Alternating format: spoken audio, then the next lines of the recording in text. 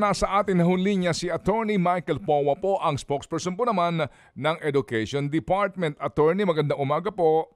Magandang umaga po, Sir Ted. Magandang umaga po, Ma'am DJ. Opo. Ah, sir, ano ho ang inyong reaksyon dito po sa inilabas po ng uh, Senado na kanila pong uh, findings and recommendation concerning nga po dito sa sinasabing overpriced na outdated pa na mga DepEd laptops po, sir? Opo, thank you po. So sa atin naman po sa DepEd, no, we were monitoring even yung ating uh, Blue Ribbon Committee uh, hearing, no. So sa atin naman po dito sa lumabas na findings and recommendations, although hindi pa natin nakukuha yung buong report, uh, syempre po yung DepEd, we will look into the findings and recommendations at kung meron pong mga bagay pa na pwede nating ma-adopt to strengthen our internal controls sa procurement, ay talaga pong gagawin natin.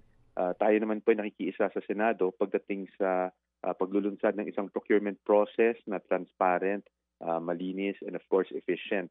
Uh, dito po sa DepEd, in fact, we already started before the Blue Ribbon Committee report came out. Ang ating Vice President Secretary of Education, Sara Duterte, ay gumawa na po ng isang department order noong uh, first, I think January 9 po siya lumabas. No? At noong January 9, naglabas na yung department order wherein yung ating procurement service na noon ay nakapailalim sa admin strand po natin, ay inilabas na natin sa admin at gumawa tayo ng isang strand that will focus solely dyan po sa procurement. Kumbaga, meron tayong USEC at ASEC that will focus solely po sa procurement ng DepEd. Okay, so meantime sir, uh, if you recall also, binanggit po ninyo dati pa na uh, pinag-aaralan ng inyo pong um, mga uh, opisyalis dyan sa DepEd Opo. kung ano na ho ang mangyayari doon sa mga laptop na ibinigay po ng DepEd sa mga teachers na ang reklamo nga po ay mababagal, ang iba nga din nga po ay problemado. Ano ho ang balak Opo. niyo hong gawin doon sa mga laptop na yon? Opo, so nung nung nangyari po itong laptop issue at nasa, nabanggit po natin sa show na to no, na nagpatawag nag, nag, nagsabi na po tayo doon sa mga recipients ng mga laptop Mm. na kung ah, sa, sa kanilang pananaw ay talagang mabagal yung laptops ay dalin po sa DepEd or makipag ah, ah, makipag-usap sa DepEd para tingnan natin kung magagawa natin ng paraan or makita Mm. natin kung anong problema. So meron pong mga ah, laptops na ang napansin po natin ay pag yung OS po ay talagang heavy doon sa laptop, talagang bumabagal po. So there was an updating that was done and then napansin naman po na gumanda yung takbo ng laptop. Although we must also admit no na pag marami na pong applications na nailalagay doon sa laptop na ito, ah, talaga pong may pagkabagal yung Mm. kanyang ah, pagtakbo. So these are the things siguro po ito po ay talagang tinitingnan natin para po sa mga future procurements natin ay Mm. mailagay natin kung ano talaga yung mga pangangailangan ng ating mga guro. Opo, opo. Sa, uh, well, wala tayo hong concern ngayon sa sa future because I'm sure Opo. ano under the new leadership ay natutuho na tayo dito sa isyong ito. And we Opo, look forward opo. nga po na mas maayos sa pangangasiwa. Pero um legally ba uh, sir, pwede bang ano ito? Pwede bang uh, managot dito yung supplier nyo? Actually, sir, meron pong, kasi po meron din pong recommendation dyan sa Blue Ribbon Committee doon sa pag, ah, pagkuha or, Mm. or pag-recover. I think that is the more appropriate word. Noong Mhm. uh, overprice amount na sinasabi. Uh, to be as ako, I personally, I cannot kasi give my own opinion. Mhm. Uh, for, for the department, we will have to uh, have legal look into it, the, into the, rec- the recommendation to recover. And also, uh, mga kailangan siguro, sir, na mag-usap kami with the Office of the Solicitor General Mhm. bilang council ng national government agencies kung uh, ano ang mga hakbang na pwede natin gawin kung ang recommendation ng base dyan sa recommendation ng Senate Blue Ribbon Committee. Uh, sa ngayon po, uh, of course, uh, ma- madaling sabihin na hindi pa natin nakukuha yung full report. Although yesterday Mm. naman kasi nabanggit Oo. na rin po yung mga findings and recommendations. Mhm. So these are some some of the things na pag-uusapan natin. Of course, we Mm. will seek guidance from the Vice President and Mhm. Secretary of Education at ang ating legal ukol dyan. Um, meron bang ginagawang hakbang ang kagawaran para sa lahat na nakatanggap ng laptop na ito na magkaroon ng individual assessment talaga and then alam niyo ho yun kung hindi ho napakinabangan mismo ng teacher o yung teacher po gumastos pa and then dahil nga po sa hindi kinakaya po yung maraming application ano ho, kaya hindi mapakinabangan ng maayos para ho um, magkaroon ng total assessment, ilang bang laptop ang totally hindi na pakinabangan, ilan ang may para ho may actual po na study at Yes, figure sir. kaya dito. Uh, yes sir, tama po kayo no at uh, uh, we, we are in line with that. In fact, nung Mhm. nag, naghikayat tayo dun sa mga nakatanggap, we reached out dun sa mga na- nakatanggap kung anong performance ng laptop. The Mhm. the end goal in mind Mhm. is to come up with a written report kung ano Opo. ba talaga ang Mhm. general assessment dito sa mga laptops na ito. Para Mhm. po malaman natin kung Mhm. talaga bang ah, may problema dun sa mga laptops. We have been collating data. Ah, Okay. in fact, kahapon lang ah, I followed up again.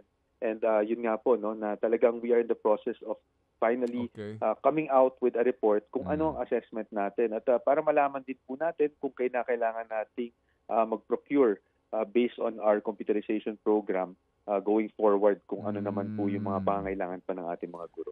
Ah, sige po. Ah, nasaan ngayon si former DepEd Undersecretary Alain Pasqua? Ah, ako personally sir, ah, hindi ko po masasagot dahil wala po akong knowledge kung nasaan siya ngayon. But he, is, is he still connected with DepEd?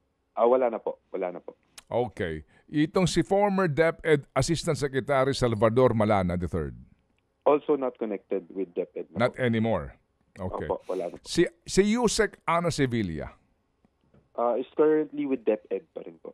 Okay. So, administratively, meron anong balak niyo sa kanya? Ah, doon po sa lumabas na Blue Ribbon Committee report, meron nga pong recommendations on the filing of admin and criminal charges. Ah, ngayon po, ah, since the ombudsman will also be copied in the report, ah, to be Mm. very, very honest with you, Sir Ted, ah, I'm not clear kung ang inaatasan ng report ay ang DepEd or ombudsman. Mm-mm. Uh, but if the ombudsman actually takes cognizance dito sa uh, recommendation to file charges and upon evaluation, sa tingin Ah. po nila ay dapat mag-file ng charges, DepEd will definitely cooperate in terms of uh, mga documentation na Mm. pangailanganin. Mm. Uh, ngayon po, uh, meron din naman po tayong admin proceedings na nasimulan na uh, dito sa DepEd noon pang uh, pumutok itong Mm. issue ng laptop. Nabanggit ko po sa program nyo noon na we Mm-mm. are looking into uh, possible administrative charges.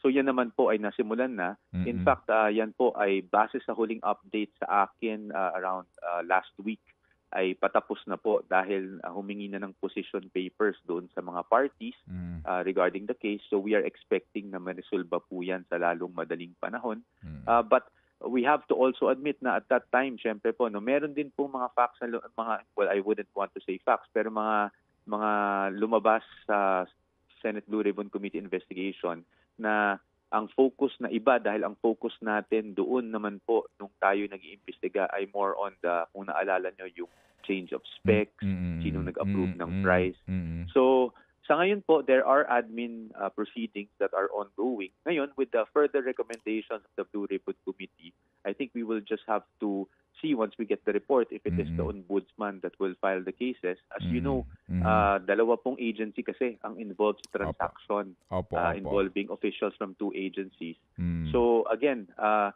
mahirap magbigay ng opinion bilang abogado personally. opo, But opo. I think it's it's factual naman po to say that of course the ombudsman would have more reach in Mm. terms of seeing the entire picture pag dalawang agencies. si Yusek. Sevilla ho ba ay ano ngayon ang posisyon? Ah, isa po ang ating Undersecretary for Finance.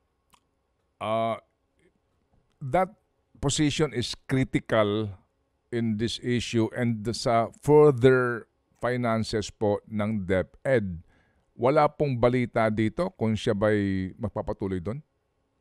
Ah, sa ngayon po, ah, wala pa naman po tayong balita. Wala pa rin. po tayong ah, guidance. But of Mm, course, kasi okay. sir, we have to understand, we really don't want to have to pass judgment on Mm. ah, personalities uh, Mm, mm, if mm. we will afford them due process. Mm-mm, Um, so, antabayanan po natin. Tayo naman po, Okay. ah, pag may development sa ganyan, alam niyo naman po, sir, that we are Opo. always willing to come Opo. on the show and at least ano, give our Opo. side. Opo. Siya ho ba ay ano?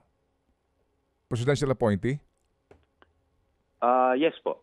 Mhm. And then um na-reappoint ba siya? Yes po, as all you, uh, you, USEX po kasi uh, si uh, Mm. Ma'am Yusek Ann, no, is from the previous admin but was reappointed to uh, ngayong term. After a rigorous selection panel. Opo, opo. Reappointed siya, ano ito, di ba ho kasi nga ah, nag-extension lang, di ba ho dati hanggang December 31 lang. So kasama siya dito na OIC, OIC USEC ba siya? Ah, hindi po. Hindi po, sir. Per- Uh, she went permanent- through the application process again Okay. to the DepEd. Sige po. Itong si Director Abram Abanil, Si Director Abanil po was uh, is no longer with DepEd. Uh, although, uh, of course, there Mm. are things that I cannot disclose right now because uh, we have proceedings nga ongoing. mm But uh, si Director Abanil po is uh, no longer with DepEd due to the yung uh, ating uh, memorandum circular number 3 uh, Mm. dun po sa mga officials na uh, nag-hold over without Mm. uh, CESO mm. uh, qualification. Okay, sige po. So, muli kaming uh, tatawag po, sir, ano, ho, sa development po sa kasong ito. But uh, meantime, ano po ang inyong mensahe ni Secretary uh, Sara, uh, VP Sara, Opo. sa lahat po ng Opo. mga teachers na aming nakapanayan po, nagreklamo nga, dito po sa overpriced na, outdated pa na laptop na pinamahagi po during the past administration. Opo, maraming salamat po para sa opportunity, no.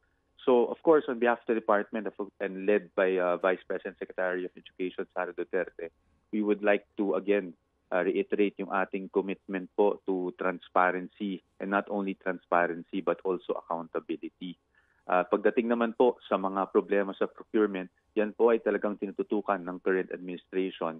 Kaya nga po, uh, number one, uh, lahat po ng pre-bids natin ay nila-live po natin para transparent po no makita ng mga tao nasa Facebook uh, na- naka-live stream po yan sa ating website sorry Uh, aside from that uh, tayo po ay talagang gumawa ng hakbang para magkaroon ng isang strand uh, dedicated solely sa procurement Mm. with a USEC and ASEC that will only focus on procurement para po talaga matutukan yung ating proseso. With the recommendations of the Blue Ribbon Committee, uh, kagaya nga po na nang sabi natin, syempre po, uh, kung meron pa po tayong mapupulot doon upang lalong palakasin pa yung ating uh, internal controls pagdating sa procurement, yan po ay talagang gagawin natin. Ah, siguro po, sir, if I may just take this opportunity kung meron lang tayong Go a ahead, few sir. more seconds Opo. to also uh, inform the public dun sa ating basic education report uh, 2023 uh, sa January 30 po yan gaganapin and it will be live streamed sa ating uh, DepEd Facebook page. Dito po sa ating uh, basic education report, uh, it will be delivered by no less than of course the Vice President Secretary of Education kung saan ilalahad po natin kung ano ang current state of basic education sa Pilipinas. Mm. Yung mga challenges po Opo. ay i-disclose nating lahat at uh, along with the challenges, syempre po tayo ay mag-roll out ng Mm. education agenda Mm. uh, ng DepEd para po malaman rin ng taong bayan kung ano ang direksyon na tatahakin ng DepEd not just Mm-mm. for 2023 but even uh, onward. Will that include already the study on uh, ano ho, na K-12 program? Uh, Hindi pa. That, that will not, it, the K-12 program po kasi hindi pa siya tapos, but Okay, that will sige po. definitely include updates on kung Okay. nasaan na po tayo Okay. doon sa review na yon, a more Okay. detailed update Opo, on the po. K-12 program. Sige po. Attorney Michael Powa, salamat sa inyo pong panahon at muli kaming tatawag kung kinakailangan. Opo, salamat, maraming salamat din po sa pag-imbita sa amin, Sir Ted, at uh, Mm. magandang araw po sa inyo lahat. Opo, ang spokesperson po ng DepEd. Ted Filon at DJ Chacha. Ngayon, nasa Radyo 5, 92.3 News FM. Monday to Friday, 6 to 10 a.m.